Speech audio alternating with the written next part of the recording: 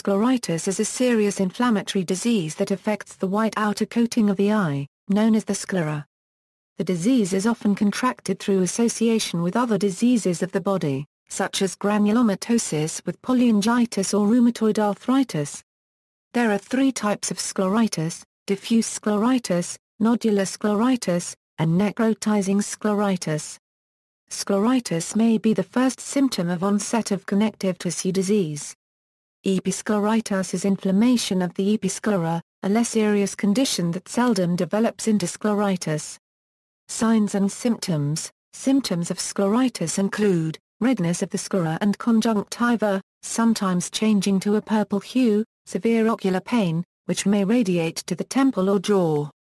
The pain is often described as deep or boring. Photophobia and tearing, decrease in visual acuity, possibly leading to blindness. The pain of episcleritis is less severe than in scleritis. In hyperemia, there is a visible increases in the blood flow to the sclera, which accounts for the redness of the eye. Unlike in conjunctivitis, this redness will not move with gentle pressure to the conjunctiva.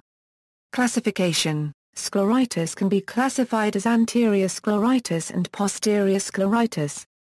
Anterior scleritis is the most common variety, accounting for about 98% of the cases. It is of two types, non-necrotizing and necrotizing.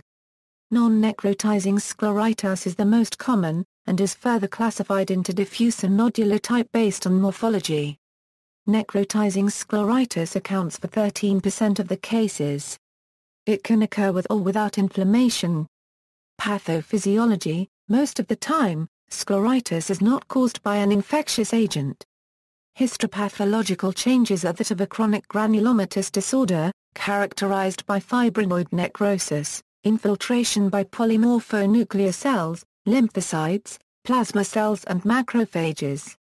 The granuloma is surrounded by multinucleated epithelioid giant cells and new vessels, some of which may show evidence of vasculitis. Diagnosis Scleritis is best detected by examining the sclera in daylight. Retracting the lids helps determine the extent of involvement. Other aspects of the eye exam may be normal. Scleritis may be differentiated from episcleritis by using phenylephrine or neosynephrine eye drops, which causes blanching of the blood vessels in episcleritis, but not in scleritis.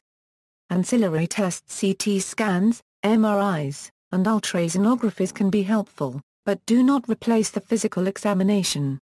Treatment In very severe cases of necrotizing scleritis, Eye surgery must be performed to repair damaged corneal tissue in the eye and preserve the patient's vision. For less severe cases, nonsteroidal anti-inflammatory drugs, such as ibuprofen, are prescribed for pain relief. Scleritis itself is treated with an oral medication containing corticosteroids and an eye solution. In some cases, antibiotics are prescribed. Simply using eye drops will not treat scleritis. In more aggressive cases of scleritis, chemotherapy may be used to treat the disease. If not treated, scleritis can cause blindness. Complications, secondary keratitis or uveitis may occur with scleritis. The most severe complications are associated with necrotizing scleritis. Epidemiology, scleritis is not a common disease, although the exact prevalence and incidence are unknown. It is somewhat more common in women, and is most common in the fourth to sixth decades of life. References Rosenbaum J.T. The Eye and Rheumatic Diseases. In, Firestein G.S., Budd R.C., Harris E.D.J.R., A.L., eds. Kelley's Textbook of Rheumatology 8th ed. Philadelphia, Pennsylvania, Saunders Elsevier. 2008, Chap 46. Watson P. Diseases of the sclera and episclera. In, Tasman W., A., eds.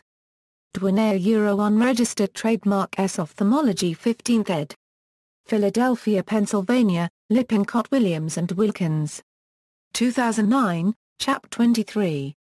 External links, scleritis at mersi.com, scleritis article at stlukeseye.com, Scleritis article at Merck.com